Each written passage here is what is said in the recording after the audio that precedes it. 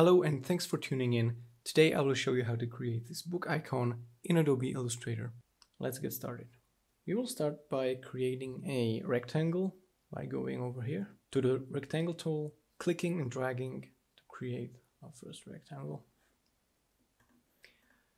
Now we need to create a second rectangle, so I'm going to select the first one and then Alt or Option on Mac, drag the rectangle downwards to create a copy. Make it a little bit shorter. And now we need to delete the bottom part, the bottom line of this first rectangle. And we will do that by selecting the direct selection tool and then clicking the base of this rectangle. Now we will press backspace and the base is deleted. Now we need to round the corners of this bottom rectangle, but only the left ones. So we will select this rectangle, then shift plus click these two circles. You can see that these are selected now and these are not, which is exactly what we want. And then we will click and drag to make them rounded. Good. Now if we select the bottom rectangle and go to transform, we can see that the radius of these rectangles is approximately 67 pixels. We want to take this uh, value and round the top left corner of this upper rectangle right now. So again, I will select the upper rectangle, direct selection tool by pressing A, clicking this circle, and then typing in 67. It doesn't have to be precise, just that it looks close enough, basically. Now we will move this bottom rectangle upwards so that um, the end of this line, end of this line uh, aligns perfectly with the center horizontal line of this lower rectangle,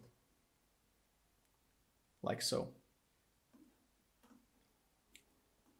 Good, maybe let's make the bottom rectangle a little bit shorter. You have to enable the scale corners.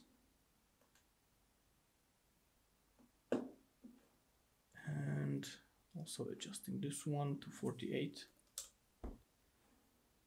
Good, looks, looks better I think.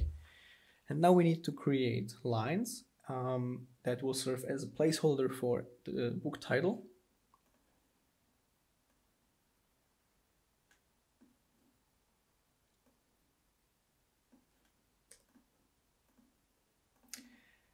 And we need to increase the thickness of the lines. So we will select all of them and then go over here and type in, let's say 30, whatever fits best, or 25.